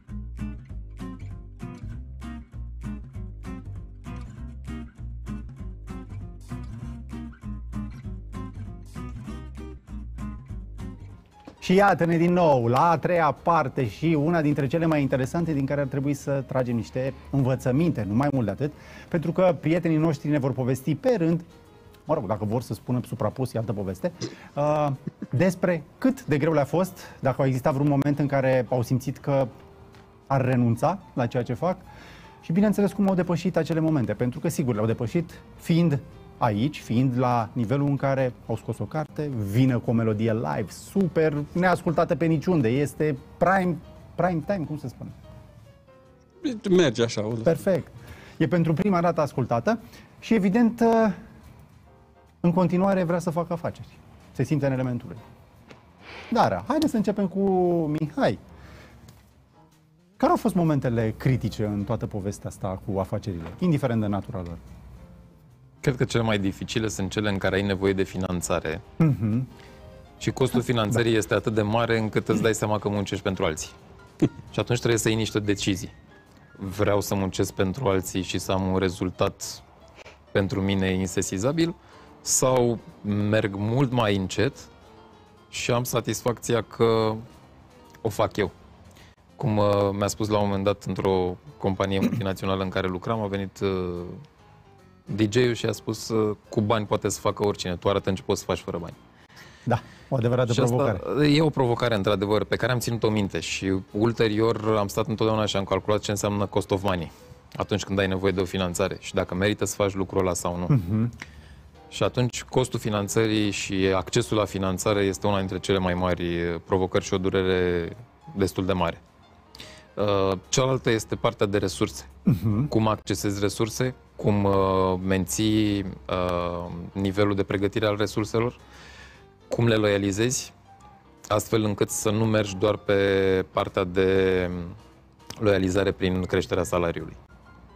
Să fie un alt concept de, de loializare, să uh-huh. fie un mediu în care tu să poți să crești o echipă și să o menții acolo. Asta este iarăși o, o provocare și altfel aș putea spune așa că antreprenariatul este... Hai fii atent, uite, amândoi avem barba, da? E adevărat. Ok. Spre supunem că am Eu o întâlnire... din asta, avem o... pentru toată lumea. Avem Te-ai o... lămurit și tu. E un pic random, dar... Eu da. abia acum observat și să mă uit. Nu, nu ai, deci ok. Uh, avem o întâlnire de afaceri, ieșim la un prânz, mâncăm ceva uh, și avem impresia că cei de la masă, partenerii noștri, sunt foarte atenți în ceea ce ne privește. Ai impresia că e captivat, ai impresia că sunt acolo, e, totul se întâmplă în moment. O să las furculița jos. Da, dar tu în continuare Bineînțeles, sunt acolo, da. Și asta este antreprenoriatul. Tu ai senzația asta că toți ochii stau țințiți spre tine și că ce faci tu faci bine. Pleci de la masa aia de întâlniri, mergi pe stradă și cumva toată lumea are atenția îndreptată către tine și zici ceva s-a schimbat în vibe-ul meu, ceva fac bine. este, este în sfârșit am intrat în energia aia teribilă în care voi avea succes. Și ajungi în fața oglinzii și zici, oh, pătrunjel pe barbă. Cam așa e antreprenoriatul. Uh, îți lasă senzația că ești acolo și nu știi ce te lovești și trebuie să fii foarte abil ca în momentul în care te lovește ceva să poți să faci shift sau să poți să, să faci orice e posibil, orice jumbușluc posibil astfel încât să ieși din situația respectivă. Și mă uit acum că am trecut așa din uh, aristocratic.ro, uh, advertising.ro, plenitude.ro, dreambuilder.ro, vitaminekuemoții.ro și acum sunt în dreambuilder.ro și coffeedive.ro. Iar în coffeedive.ro implementez poate cea mai puternică franciză de cafenea de specialitate din Europa, cu câteva caracteristici unice. Microprăjitorie în fiecare locație. Uh, e super cool, vă spun. Care nu are nevoie de prăjitor. Fără studii de prăjitori de cafea, care înseamnă o adevărată enciclopedie, sunt oamenii așa, am tot respectul pentru ei, tu apeși un buton și se prăjește de fiecare dată perfect. acces la peste 40 de origini de cafea de specialitate certificate și așa mai departe. Sunt niște avantaje extraordinare. Implementezi un concept extraordinar în care pui o cafenea și un centru de business împreună. Și trei luni mai târziu vine COVID și spune pleacă acasă. pleacă acasă. Nu ți-ai făcut temele. Pentru că Încă o provocare. În online nu ai cum să treci imediat în online când prețul cafelei poate să depășească 800 de, de lei pe kilogram. tu nu ai cum să treci în online și într-o piață în care termenul de cafea de specialitate câteodată este abuzat efectiv și mințit. Lumea este mințită. Cafea de specialitate. Nu poți ca un necunoscut, fără o masă critică de clienți, să spui de mâine mă mut în online. Uh-huh. Și vând o cafea extraordinară în online, fără ca cineva să o fi gustat și să fie există această probă a faptului că este extraordinar. Adică te poate lovi oricând. Ăsta este, este antreprenoriatul. Cum l-ai depășit? Pentru că încă ești aici, faci antreprenoriat. Cred că... Eu, apropo faptul... de asta, o să comand o ruladă. Adică nu... da, da. Pătrunjel nu. Uh, m-a ajutat faptul că, că am purtat aparat dentar când eram mic, știam, am o mușcătură puternică și rămân așa, țin cu dinții de, de ceea ce fac, am, am drive-ul ăsta de a-l duce mai departe și de a nu renunța. Uh, în pandemia acum am făcut un sub-brand, Imon, care Imon uh, pleacă din Pater Imon, tatăl uh-huh. nostru în limba greacă, și are o rădăcină și o semnificație în Pater Imon. Uh-huh. Ce face? Uh, Ce face? Pater Imon face un raft cu niște produse extraordinar de bune, certificate. Niște produse pe care dacă eu le consum acasă, le propun și altora să le consume. Mm. Uh, la fel, nu a putut să scaleze businessul ăsta pentru că, fiind pornit în, în pandemie, uh, nu are un momentum care să-l, să-l ia, să-l, să-l tragă, să-l împingă. Uh, partea asta apoi de, de Ucraina a mai schimbat un lucru. Prețurile, lanțurile de aprovizionare și absolut multe elemente în calcul, inclusiv condițiile de, de climă. Am avut incendii anul trecut și uh-huh. inundații în Grecia. Asta mi-a influențat prețul pe patru produse și cantitățile disponibile la producători, pentru că toate sunt microferme. Pentru că am învățat din cafea ce înseamnă un microlot și un nanolot. Uh-huh. Și m-am dus să caut lucruri care sunt microfermă în care tot ceea ce înseamnă calitate și atenția către plantă și produs este maximă. Și atunci toate lucrurile astea, deși ele sunt undeva, nu au avut momentul acela prielnic în care să fie cunoscute. Și cu asta te confrunți. Te confrunți cu un necunoscut în permanență. Mm-hmm. Dar nu te lași înfrânt. Asta era ideea. Niciodată. Adică ai, din naștere ai dinți da, bune. Dacă, de fapt, crezi, dacă crezi în ceea ce faci, nu o să te lași.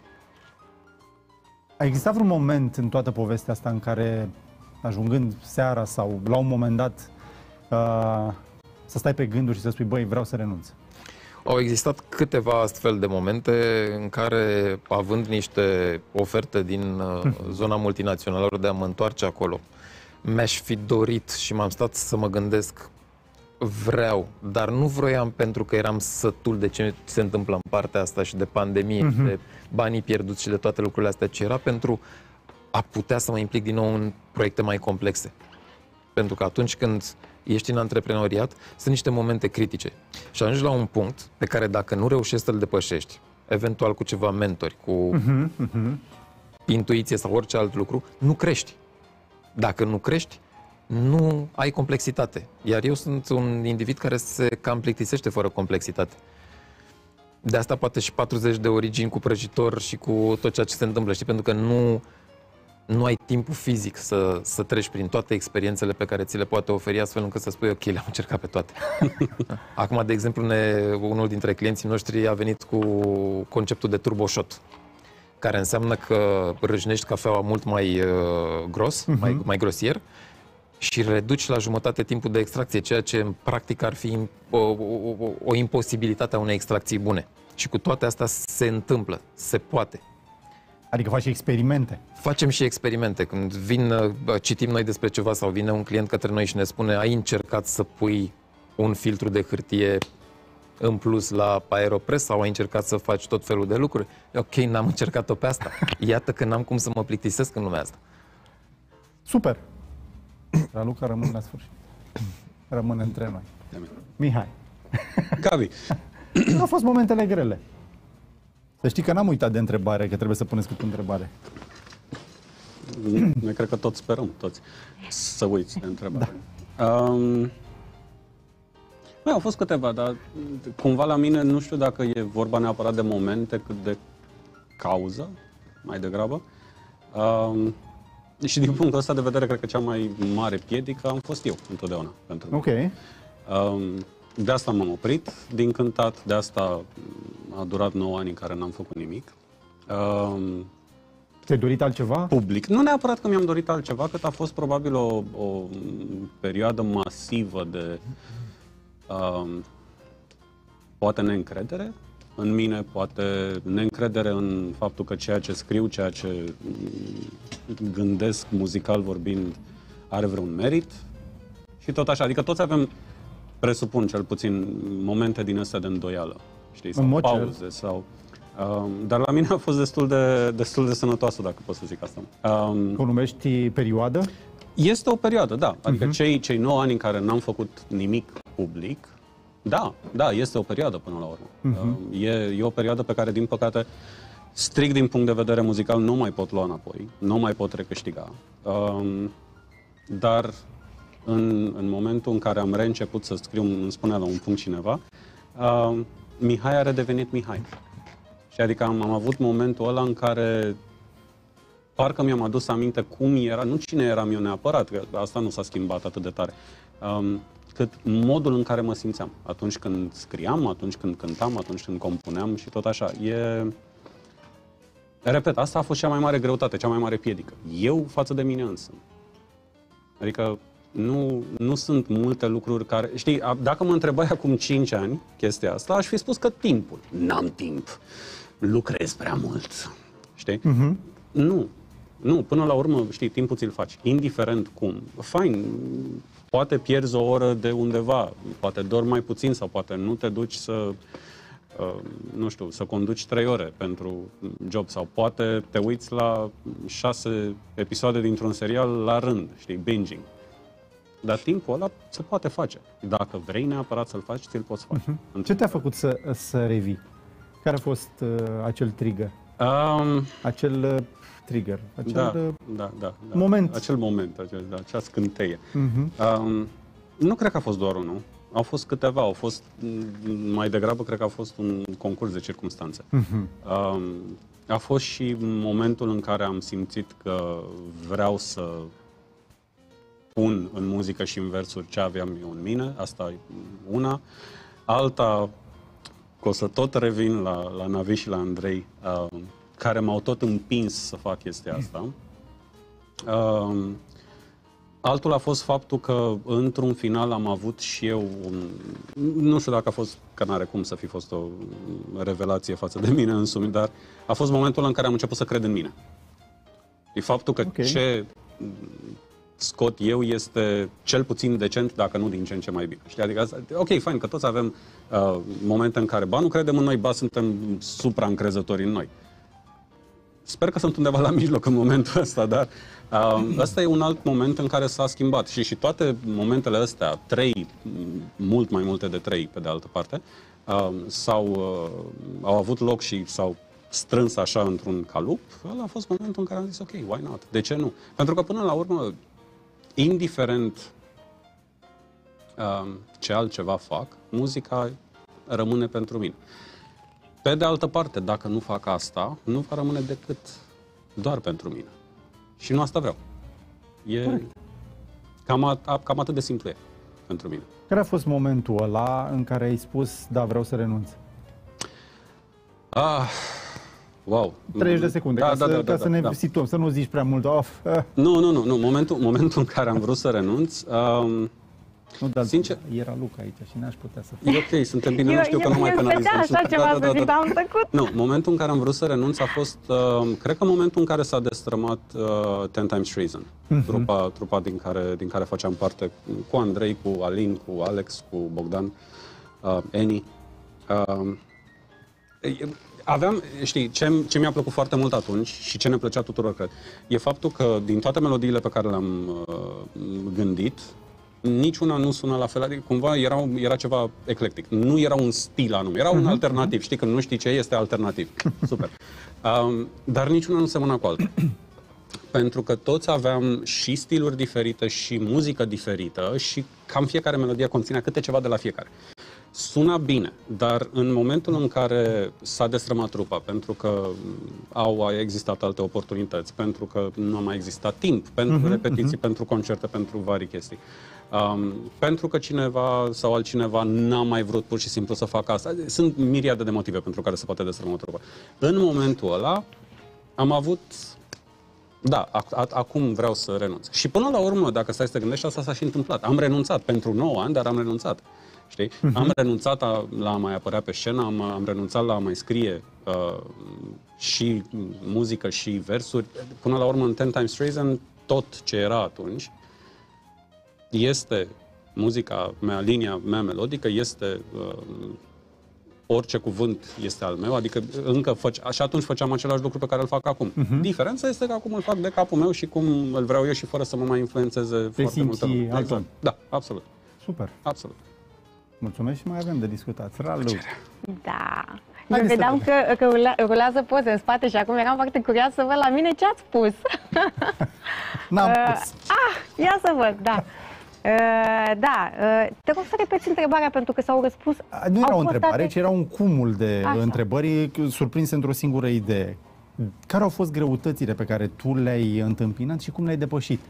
Am auzit atât. Știi de ce te întreb? În mod normal stai și te gândești la răspuns, acolo, în fundal. Te gândești ce răspuns să dai, să sune și bine, să fie și inteligent. Să Păi nu aici faci nu vreau de să râs, sune nici inteligent, nici să sune Uh, natural. Mie mi-a Să plăcut fie așa de acolo. mult. Am auzit uh, uh, în jurul meu și m-au relaxat vocile, m-au relaxat ideile, m-au relaxat poveștile unor oameni care au reușit să răzbată și să depășească niște momente. Uh, Eu consider că sunt și eu unul dintre oamenii ăștia. Poate nu am povestea mea de succes să mă apuc acum, deși o am, dar nu vă zic Hai vouă. la sertar încă nu. Da, dar vreau să ajung la un alt Hai, te rezultat. rog, dă-ne un Nu, mic când o să promo, ajung eu să hai, fiu hai. vocea pe care vreau să, să, o, să o am. Dar momentan nu, nu consider că am ajuns Mai acolo, grav, așa mai... că te baus. Uh, da, uh, Greu- eu am atins deja subiectul. Uh, greutatea mea cea mai mare a fost la 20 de ani. Întâmplarea face că am mai trecut peste o, peste o astfel de greutate uh, foarte recent. Hm. Uh, dar ne, co- ne reconstruim diferit la vârsta asta și atunci uh, nu o mai raportez, adică o dramă pentru cineva, ceea ce el consideră a fi o dramă, poate fi exact aceeași dramă pentru altcineva, mult mai atroce Mhm. în trăire, în tot ce înseamnă uh, emoție, în tot ce înseamnă uh, lucruri de genul ăsta. Cred că momentul cel mai greu pentru mine a fost totuși atunci, dacă e să raportez, pentru că m-am simțit singură, diferită. Ce scriam ieșea negru. Din cauza asta am și dat la o parte absolut tot. O să am dat la... detaliezi momentul? Doar dacă... Uh, da, po- pot să le, au fost un moment, cu toții trecem prin momente. Absolut. Oamenii care nu simt nu trec prin momente, dar în alte uh, circunstanțe cu toții trecem prin deprimare, poate prin depresie și surpriză. Oamenii ăștia nu sunt singuri, dar ei se simt singuri. Mhm. Pentru că au senzația că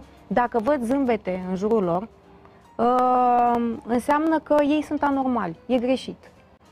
Greșit, whatever that means. Uh, Greșit în sensul că uh, cu toții simt, cu toții au momente, doar că nu simultan. Să-și dea timp. Eu mi-am dat timp și nu mi-am dat timp pentru că am zis gata, îmi dau timp pentru că o să se întâmple. Nu, mi-am dat timp pentru că trebuia să supraviețuiesc. Și nu zic acum, nu vă gândiți la vreo depresie, nu vă gândiți, poate că o fi fost și așa ceva, dar a fost un moment foarte, foarte greu pe care a, a trebuit să-l depășiți, depășesc, neavând bani de terapie, de psihologi, Ok. studenții abia au bani de covrigi. Um, da, cu toții am trăit momentele alea, ci pur și simplu înțelegând culoarea soarelui, înțelegând culoarea zilei, înțelegând luna, înțelegând valoarea tuturor lucrurilor pe care poate la un moment dat o să plângem după ele, după acele 5 minute în care să mai privești un răsărit. Mhm. Și uh, pe mine chestiile astea m-au ajutat. Ușor, ușor, fratele meu mi-a construit un blog când m-am întors în țară. Am fost în Qatar stewardesă și când m-am întors în țară, el mi-a construit un blog. Uh, tocmai în ideea de a mă reapuca de scris. Și dintr-o joacă postam pe acolo, nu știu ce, că ce nu facem noi, mai trebuie să mai fim și pe acolo, mai facem un selfie, mai nu știu ce, mai... A, e, facem cu toții. E o problemă când le faci în mod excesiv. Dacă le mai faci, le facem cu toții. Uh, și am postat și eu lucrurile astea și probabil mi-a hrănit nevoia de a scrie um, și am ajuns la rezultatele de acum, de care în continuare nu că nu sunt mulțumită, știu că pot mai mult și știu că se va putea mai mult, dar nu când vreau eu. Viața e un EKG. Urcă, coboară, acum ești jos, după aia ești, știu eu, în vârful, în culmea succesului. Nu te bucura prea tare pentru că nu este un moment de durată. Se va schimba, de asta se numește moment. De asta se numesc momente. Care a fost momentul să în care cobor? ai zis uh, nu mai vreau să fac asta? Uh, precum am zis când am zis că nu mai vreau să fiu nici în învățământ, îmi păstrase, adică nu că îmi păstrase catedră, P- fostul meu profesor care mi-a fost și diriginte și mentor, mi-a fost ca un al doilea tată, e și scriitor, Simion Bogdanescu se numește. Simion? Așa, Bogdanescu. Și Puflea Ioan e numele lui de în afara scenei. Uh, da. Și uh, acest om uh, pe mine m-a ajutat foarte mult uh, și a vrut să, visul lui pe care mi l-a spus era să predau alături de el limba și literatură română. Și lucru care nu s-a mai întâmplat, pentru că eu n-am mai vrut să am de-a face cu lumea scriitorilor, n-am mai vrut să am de-a face cu scrisul, n-am mai vrut să am de-a face cu literatura, n-am mai vrut să am de-a face cu nimic din ceea ce îmi plăcea mie și exista șansa să mă pună pe o rampă, sub lumina vreunui reflector. Repet, eu am vrut să... Da, a fost un Merg factor în- declanșator pentru asta? Da, a fost, evident că a fost un factor declanșator. Știi, când ai un moment pe care nu-l înțelegi și care din, uh, din unde te credeai tu acolo undeva, te trezești în cu totul altă parte, prima tendință, zic eu, nu știu dacă a tuturor, dar cred că m, în general vorbind, da? dacă e să abordăm psihologic așa sau filozofic, o psihologic subiectul, uh, cred că prima tendință a, cărui, a oricărui om este să se întrebe, da, de ce? Să înțeleagă. Mhm. Nu toate au un răspuns. Evident că. Și în momentul în care te întrebi, da, de ce, uh, începi să ai răspunsuri greșite, pentru că tu fiind în, în bula ta acolo, n-ai cum să vezi lucrurile din exterior. Și începi să te blamezi, să te condamni tu pe tine pentru lucruri și să spui, ok, înseamnă că eu am avut succes și pentru că reversul medaliei acum trebuie să fie ăsta, e din cauza asta. Și atunci eu înseamnă că ar trebui să dau la o parte factorul ăsta și atunci lucrurile vor fi mai bine. Greșit. Trebuie să reluăm, să înregistrezi Da? bine partea Eh, asta, că reluăm. trebuie să o... Așa cum zice Analizez viitorul. cum trebuie. Și lucrurile- Scriitor, se vede. Slow motion. Oh my God. Da, lucrurile nu se întâmplă în felul ăsta uh, și forța pe care am găsit-o să depășesc momentele uh, a fost în mine. Mhm. Uh, și nu s-a întâmplat când am vrut eu, s-a întâmplat când au vrut resursele din mine și când a vrut ceea ce... De asta eu pe oameni întotdeauna îi sfătuiesc când aveți un moment greu și că îi sfătuiesc, e mult spus că nu sunt în măsură să dau sfaturi, o opinie din exterior. Sunt importante opiniile. Nu, tu vrei să ajungi la final, asta spunem la final. Uh, da, nu, bine, atunci așteptăm și am tăcut, dar dacă Mi-a nu uite toată ideea, nu mai chestia, bă, este și le-a vina mea. organizat ca un inginer, ca la carte. Ți-am zis că lucrurile nu sunt Da, cu inginerești. scriitorii e lumea foarte asta. complicat, asta e adevărat. Da, ingineria e universul pe care nu-l înțelegem. Când o să ajungem la nivelul de a înțelege universul, atunci suntem foarte buni ingineri, toți. Păi ce farmec aș avea eu atunci? E, ești mai bine decât mine, adică înțelegi structura fizică mai bine decât toți. Bine, bine. Am Înțeles. Da. Uh, am încheiat citatul. A, doar atât. Păi nu știu ce ar trebui să mai zic. Da, Mai ai jumătate de minut, să ne mai Bine, spui încă jumătate o, de un minut. moment. păi, mi-ai rupt încheierea. Aveam încheiere Păi nu, că frumoasă. încheierea e pentru O să uit. următoarea, următorul calup. Au ce poze Să uităm avem. la poze. Asta e cățelul tău? A trecut, da, Cookie îl cheamă. E o Cookie. minunăție. Da, e o minunăție. Încă un moment. Uh, da, încă un moment uh, îl depășesc acum, l-am depășit, Mhm. cel puțin la un nivel uh, uh, aparent. Uh, da, știi cum e, lucrurile se activează sau se reactivează sau le înțelegi ulterior, nu când sunt proaspete. Uh, dar, repet, am zâmbetul pe buze, lucrurile se reconstruiesc diferit de la o anumită vârstă. Și asta o să spun tuturor, pentru că o să uit la final. Uh, da, e foarte important să-și dea răbdare. Ah, Gata, am Ți-a, încheiat. ți-a, cam, ți-a cam stricat flow-ul. nu-i așa? bineînțeles, o să ne pregătim uh, ușor de Spontaneitate. următorul uh, calup, cel mai suculent, după părerea mea, cel mai fascinant, când o să o auzim pe Raluca citind din scrierile ei și o să ne povestească de ce și cum. Uh, De fapt, o să vă povestească vouă, toți din ce- cei trei, astfel încât să vă inspire de ce au trecut și de ce continuă să facă ceea ce fac ei. Așa că să trecem la momentul următor, care ar fi după publicitate.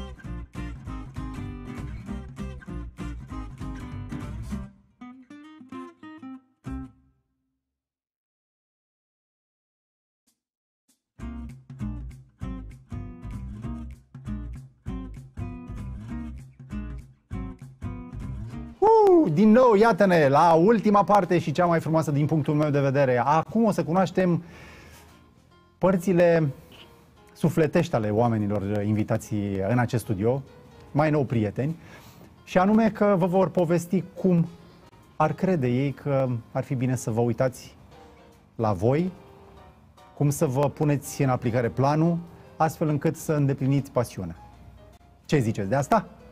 Eu zic că e bine, eu abia aștept poveștirea astea, abia aștept încurajările, pentru că fiecare dintre noi, așa cum au spus și ei, a, are nevoie de cineva alături și să le spună, da, poți, așa cum ne spunea Raluca. Haide, Raluca, acum inspiră-ne, că tot mai, mai bătut la cap că vreau să spun că ar fi bine să Dar n-am inspire-ne. spus eu asta, eu mi-am vorbit în timpul meu și cei drept am sărit puțin granița, dar Atâta e, am doar fost pedepsită pentru lucrul ăsta. Din da. potriva, cum ți-am dat cuvântul. Uh, da. Uh, Cred că nu- despre asta vorbea. Poftim? Cred că despre asta vorbea Păi când nu a spus spus că ești cuvinte și că pedepsită. avea mi-a dat un cuvânt. Cuvinte. Și got a point. Da. Mm, yep. Uh, da. Sunt cu mâna pe, pe cronometru la tine. Uh, da, Ai un public în fața ta? presiunea, uite, hai să spun ceva, adică bă, mi-ai trimis, nu e niciun secret, mi-a trimis să, să-i dau o descriere despre mine și în descrierea respectivă ți-am spus că presiunea este cel mai mare inamic al, uh, al unui scriitor, hai Mhm. să spunem scriitor, că nu știu ce simt pictori, dar bănuiesc că la fel. Din cauza asta niciodată să nu faci lucrul ăsta comercial. Când ai făcut-o comercial, ți-ai distrus sufletul. Ai distrus sufletul artei. Da? Uh, în momentul în care cineva îți spune, vezi că se, se cumpără știu eu ce tip de roman, de autodezvoltare, uh, trivial, pentru că vinde foarte bine vulgaritatea, Uh, nu știu, sunt multe tipuri, astfel de tipuri de romane pe, pe piață care umplu rafturile librăriilor. Uh, în momentul în care ai făcut lucrul ăsta, tu nu mai poți să fii tu. Tu ești ceea ce vrea celălalt și livrezi ceea ce vrea celălalt, pentru că vinzi și pentru că ți-ai făcut din asta un job. De exemplu, eu din cauza asta nu am un job din, din ceea ce fac. Am un job separat, uh, ca să-mi placă ceea ce fac. Ok. Și ce-i, ce sfătuiești? Am o problemă cu a sfătui, că e ca și cum tu te consideri undeva acolo și sfătuiești. Nu are nicio legătură.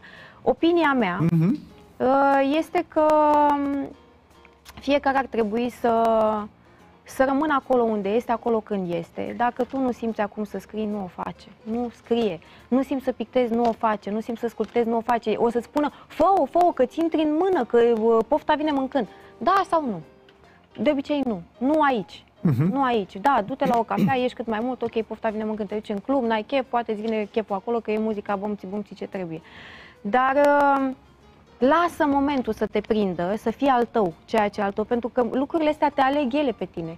Noi nu... Mama o să-ți spună, fă-te doctor. Uh, Tata o să-ți spună, fă-te mate- matematician, faci și ți-ai ratat viața și afli abia mai târziu că stai un pic că de fapt mie îmi place să fac altceva. Lasă lucrul ăla să te prindă atunci când te prinde el și dă-i șansa. Când te prinde, nu îl amâna. Nu îl amâna. Pur și simplu, uh, vrei să scrii, în momentul ăsta vrei să scrii, scrie. Ești la serviciu, deschideți un ori separat, nu te vede nimeni, nu iei din banii companiei dacă scrii și tu acolo niște idei separat și le dezvolți acasă. În metrou la fel. Um, dă-ți timpul ăsta de, de respiro și, și fără pretenția de la tine, aoleu, până acum am făcut lucrurile la un standard foarte ridicat, ce mă fac acum? Dintr-o dată m-a blocat. Eu n-am mai scris de un an de zile. Așa și, în condițiile în care tot zic pe Facebook, pe, a, romanul 3, îl voi scrie, îl voi face, aia n-am livrat până acum. Așa și, nu înseamnă că mi-a rupt promisiunea.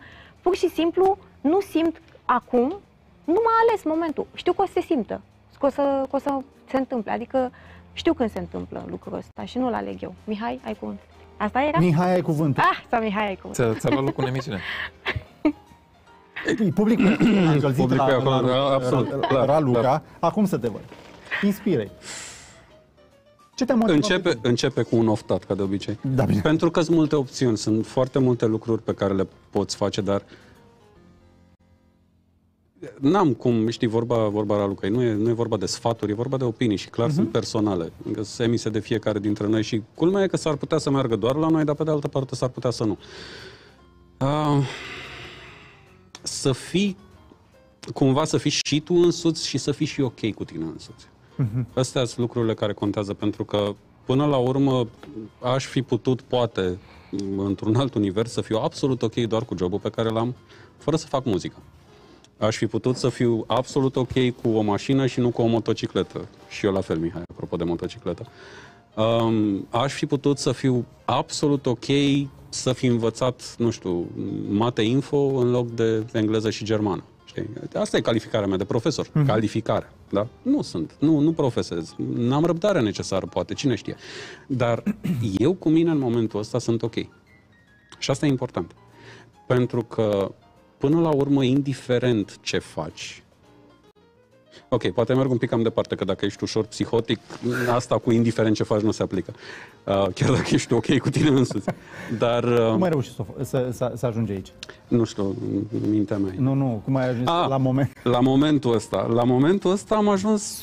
Păi, exact din ce spuneam mai devreme. Am ajuns prin a renunța, mm-hmm. am ajuns prin a mă redescoperi, am ajuns prin a reîncepe să fac ceea ce mă definește până la urmă. Faptul că muzica este nu știu, uite, o, un exemplu absolut stupid. Eu nu am o cameră în toată casa care să nu aibă cel puțin o boxă. Înțelegi? Literalmente. și nu exagerez când zic uh-huh. chestia asta. Inclusiv în duș am boxe. Da? Deci mergem până la nivelul ăla de exagerare. De, de, eu nu pot să stau fără muzică. Nu pot să fac chestia asta. Nu, indiferent că este muzica pe care o fac eu. Pentru că sunt culme și melodii pe care mi le ascult. Știu că sună narcisist, dar asta este. Îmi plac melodiile uh-huh. pe mhm. care le-am făcut. Um, indiferent că este uh, rock, indiferent că este folk, uh, și culmea, am și cântat o grămadă de ani folk înainte să intru uh-huh. în, în Ten Times Treason. Um, indiferent că este operă, muzică populară, e, nu contează. Muzica primează pentru mine. Și asta este marele factor. Eu sunt ok cu mine, sunt absolut ok că îmi place muzica. Nu mă deranjează absolut deloc chestia asta, cu atât mai mult cu cât pot să și eu fac. Deci să fii bine cu tine da. și ce emiți să fie bine. Da. da. Poate să fie, știi, la fel sunt, sunt sute, zeci, mii de melodii care sunt deprimante, dark. Sunt, uită-te la mm, Clint Mansell, uită-te la uh, Sarah Brightman, care are melodii depresive. Uh, dar emit ceva. Uh-huh. Și nu doar că emit ceva, dar te și fac să simți chestia asta, că până la urmă de emit poate să emită oricine, dar nu rezonează neapărat. Știi? Iată-mă pe mine muzician. Dar asta e ideea. Să fii tu ok și să emiți ce, ce vrei să Abia emiți. aștept să ne arăți lucrurile. Am înțeles să trăiți. Sigur, prime sau. time. Aaaa, să, să nu, nu... Adică în premieră, dar abia aștept și eu, pe alături de voi. Mihai. o să povestim un pic mai mult din două puncte de vedere. Unu, pentru că, la fel ca și ceilalți, trebuie să încurajez pe cei din fața noastră și doi, să o lăsăm pe Raluca să-și aleagă textul pe care o să-l citească în cele două minute. Așa că o să-mi povestești despre public și despre ce ai vrea tu, la fel ca și ei. El o să cânte, ea o să citească. Și atunci o să ai și tu momentul de a ne spune despre coffee... Cafelier. Cafetier. Cafelier. Cafelier. Acum inspiră pe cei care se uită la noi. În 2006, împreună cu Alin Nița, am făcut o companie de document management 5 Plus Solutions. Și Alin are o legătură cu ce urmează să spun. Datorită lui Alin, am ajuns să merg pe muntele Atos.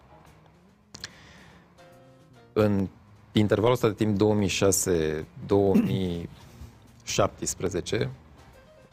la un moment dat eu am făcut exit din 5 Plus, el a mers mai departe și e foarte bine. Uh, în parcursul nostru antreprenorial separat am avut de lucru foarte mult cu decizii cu privire la oameni. Când angajezi, când dai afară. De ce angajezi, de ce dai afară. Cum dai afară.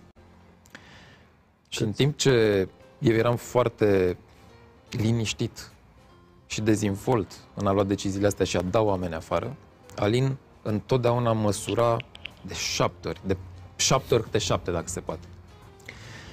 Și eram cu el în mașină, mergeam uh-huh. la muntele Atos și discutam despre unul dintre proiectele mele de restructurare în consultanța de business, în care am dat foarte mulți oameni afară într-un timp foarte scurt. Și el îmi spunea, băi, cum, cum poți să faci lucrul ăsta? E inuman.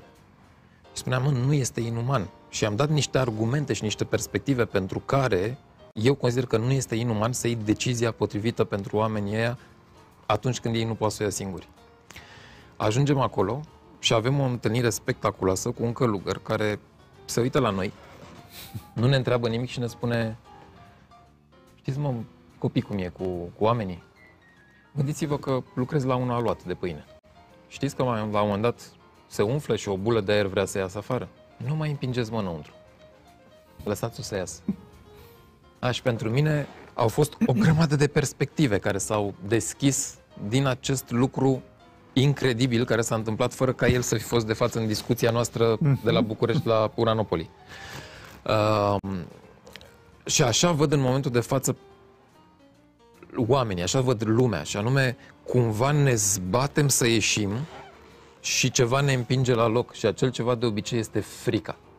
Care frică poate să vină din noi sau poate să vină din cei din jurul nostru, din familie.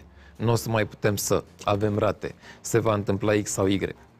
Și atunci ceea ce pentru mine este relevant este lupta individuală cu propriile tale frici. A confrunta aceste frici astfel încât să ai curajul să spui care este cel mai rău lucru care se poate întâmpla, să mergi pe worst case scenariu. Ce se poate întâmpla cel mai rău dacă eu iau această decizie care servește unei pasiuni de ale mele sau care poate să-mi schimbe viața, poate fi un shift pe care eu nu am curajul să-l fac. Cam asta este zona în care eu mă uit acum și la mine. De atunci mă tot uit la mine și mă întreb care este acea frică care mă face să nu ies din aluat. Și asta este perspectiva pe care, pe care o am. Deci, dragilor, ieșiți din aluat. Raluca, ți-ai găsit textul? Nu, Păi și de ce nu-l cauți? pentru că am telefon aici, Păi am zis și- că improvizez. Păi hai să vedem o improvizație ta. Acum? Eu Păi cu g- prima? caută-l până când o să vorbesc, că, cum o să vorbesc cu, cu încă mai vorbesc, să ne povestești de cafelier. Cafelier. Și cât timp povestește de cafelier, tu nu mai caută-ți. Tă-tă-tă, Vă mai gândesc? Lasă că lucrurile spontane sunt cel mai bine așa. A, Bine, bine, O Raluca. să fie tot ceva în premieră. Uite să vezi că o să fie ceva în premieră, dar o să fie cu bâlbe, cred, nu știu, aflăm. Bine. Da, Mihai Cafelier. și-a pierdut ideea. Nu, Nu și-a pierdut ideea. Vorbim de cafelier, n-am cum să-mi pierd ideea, pentru că este un dispozitiv inovativ uh, realizat în uh, Slovenia. Este un dispozitiv fără care, din punctul meu de vedere, o cafenea nu poate să livreze calitate. Uh, În momentul în care lucrezi cu cafea, trebuie să cureți sita grupului. Cu cât cureți mai des sita grupului, cu atât calitatea extracției și gustul în cească este mai curat, mai profund. Iar această curățare se face manual. În cafea de specialitate ar fi cazul să curățăm la fiecare, după fiecare extracție. Asta înseamnă un proces destul de, de dificil și atunci cafelier a venit și a spus lasă-mă să automatizez lucrul ăsta pentru un barista. Pune dispozitivul ăsta în grup, la fel cum pui un portafiltru, apasă un buton și 10 secunde mai târziu vei putea face o cafea perfectă. Și este tu ai așa ceva? Suntem distribuitorul lor pe, pentru România. A, am înțeles. De asta, de asta se află alături de Coffee Dive. Uh, Este, îl- îi reprezentăm chiar începând de, de luna asta, am uh, semnat cu ei. Proaspăt. E, e foarte proaspăt și cred foarte mult în produsul ăsta pentru că odată ce, ce am făcut trainingul de specialty coffee în străinătate, am văzut acolo ceva ce nu am văzut în România atunci când eu îmi beau cafeaua în oraș. Nu se curăță grupul. Iar Deci, promiți că dacă venim la tine, bem cea mai, uh, cea mai excepțională cafea. Bem cafea de specialitate, care cafea de specialitate înseamnă de la plantație până în ceașcă, procese și proceduri pentru a garanta rezultatul din ceașcă. Asta înseamnă cafea de specialitate. Urmărești totul de la rădăcină până în ceașcă. Vă invit la Coffee Dive și utilizând cafelier. Haide, Raluca! Oh, eu Este sunt momentul prima. Sunt prima. Uh, Da, în primul rând să, să lămurim un lucru. Mie nu mi-ai spus de text. Am, eu am aflat abia acum și să mă apuc să citesc acum la întâmplare un text nu e ok, să mă apuc să citesc un text de pe Instagram sau știu eu ce, e prea, am două minute la Până mă dispoziție. critici tu atât de Însă, tare, fii o at- să-l rog pe Mihai să se ducă În- să se pregătească, să ne încânte cu... Du te și te pregătește, Mihai. Așa, așa, te rog. Uh, însă voi te rog. face altceva, fii atent. Uite, eu nu, nu mi-am recitat niciodată în viața mea o poezie scrisă de mine. Aha, deja ți-am spus și ai Nici zis nu am care... învățat-o Da, da, niciodată. da, da, da. N-am recitat o poezie scrisă de mine, nici nu am, uh, nici nu am învățat-o pe de rost, dar întâmplarea face că le mai știu. Raluca, știi ce-ți propun eu? Hai să o citim și pe urmă discutăm că se... Nu, nu o citesc. Da. A, o reciți. Uh, pentru că am albastru și pentru că telefonul mi este albastru și pentru că vreau să motivez oamenii, exact cum ai zis și tu, uh, să-și dea seama că oricând cineva îi iubește, o să, o să recit o poezie care se numește Floarea din cer.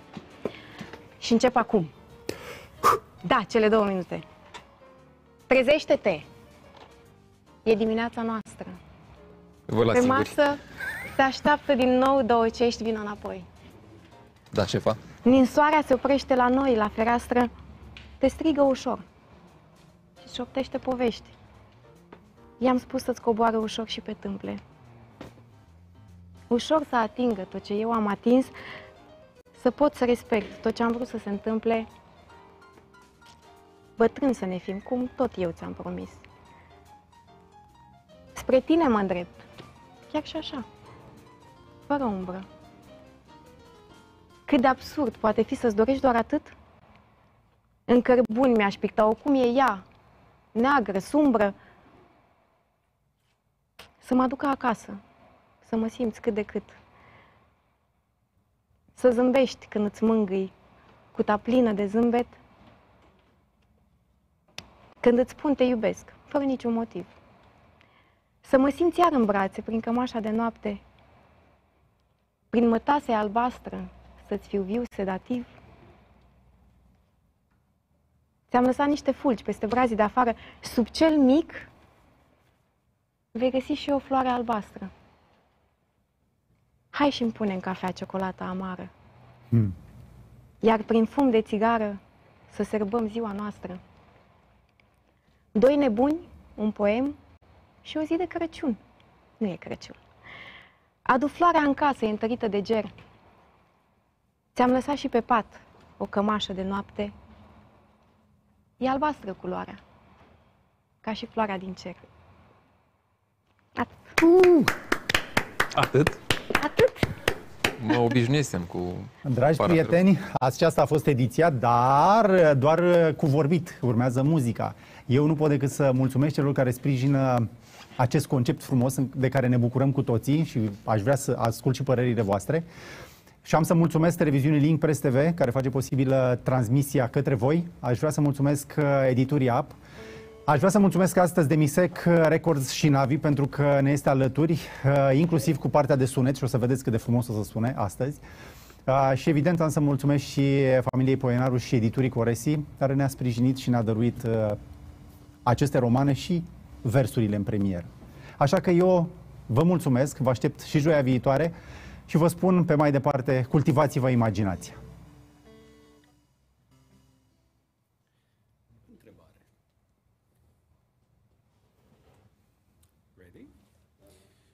Să vă și explic un pic ce se întâmplă aici? sau?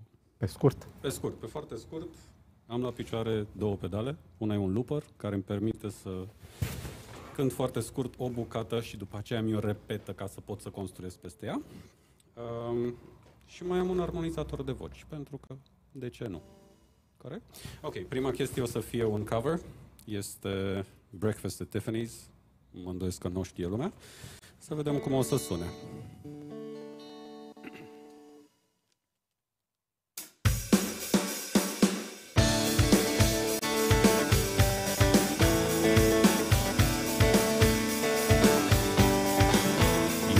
Say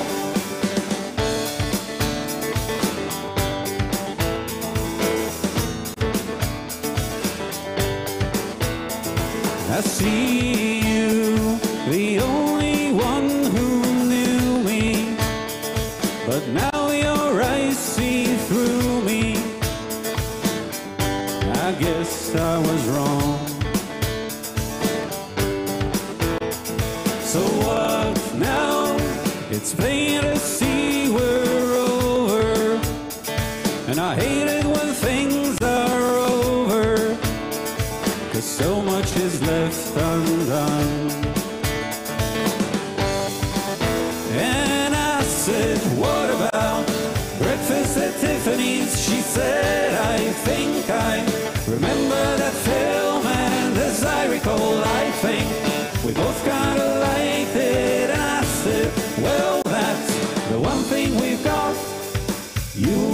say that we've got nothing in common. No common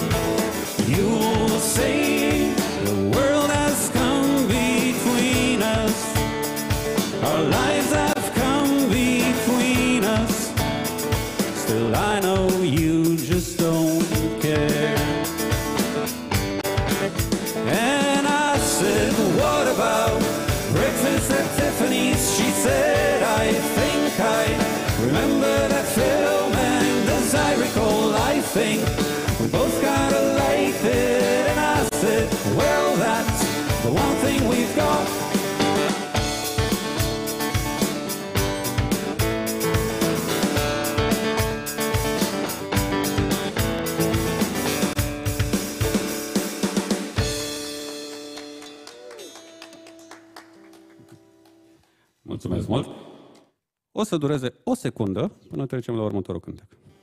1.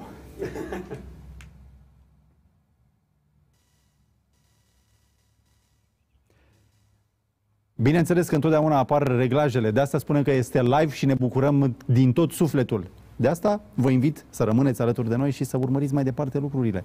Ce credeți? Că acum urmează piesa Da, asta Cu greutate. Este, asta este piesa Free. Hai. Da, deci asta este prima ascultare ever.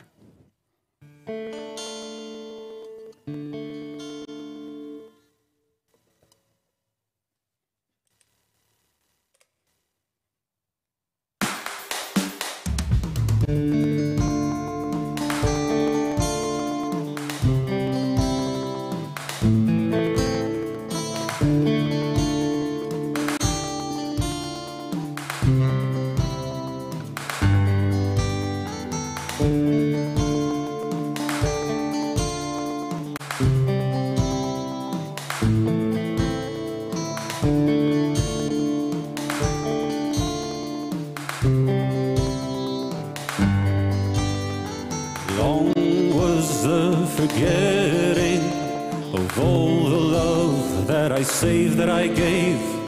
Hollow the roses when spring raises thorns. If I could stop the hands of time, I'll take them back to when you were mine. Then I could drop, drop, drop the rains from above so I could breathe again. This Distill the pain, and so I've bled. So long I've cried, I've tried to live while I die. White as snow, black as sin, your memory etched beneath my skin. I've spent the ages locked away, too scared to leave, afraid to stay. And after all, the light I see, the final truth, at last I'm free.